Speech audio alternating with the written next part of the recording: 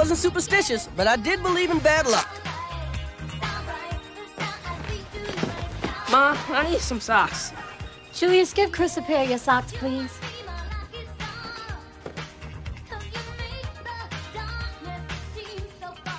Are these the only pair of socks you got? Yeah. Besides, those are my lucky socks. I was wearing those socks the night I met your mother. Girl, he's cute, but look at those socks.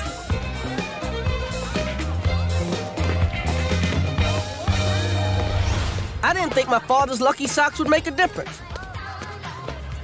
Hey, little dude from across the street. I just hit the numbers. Wanna hold a dollar? Yeah, thanks. That's all you. They not only made a difference, they made a dollar. I believed in good luck. I just never believed it could happen to me. Man, I'm sorry. I forgot my bus pass. It's all right, man. I know you. For real? Thanks. On the second bus, I got even luckier. Hi, I'm Darlene. What's your name? I'm Chris. That's one of my favorite names. That's not even my favorite name. I was even getting lucky at school. Take that, Mr. Miyagi. Oh.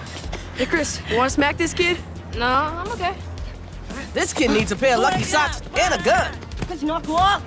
Things were going so good, I almost felt white. Chris, I bought you something.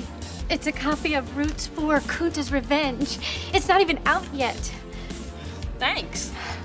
Roots 4 was good, but my favorite was Roots 6. Fiddler Strikes Back. That night, even my dreams were lucky.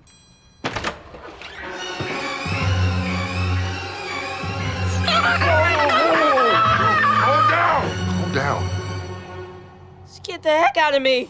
Listen, I'm just looking for the woods. Wait, you're not gonna kill me? Why would I do that? Okay, you go downstairs, make a left, go down the corner, make another left, and there should be a park about a mile away. Thanks. Hey, by the way, you know the date? Thursday the 12th.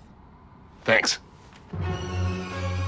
Later, I had one of those dreams where I was falling and Jennifer Beals caught me.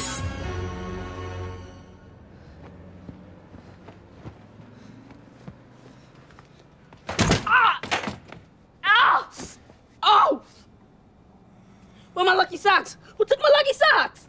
Wasn't me. Those socks was stinking up this whole room. I got them things out of here. And you lucky you didn't die from the smell. Ugh.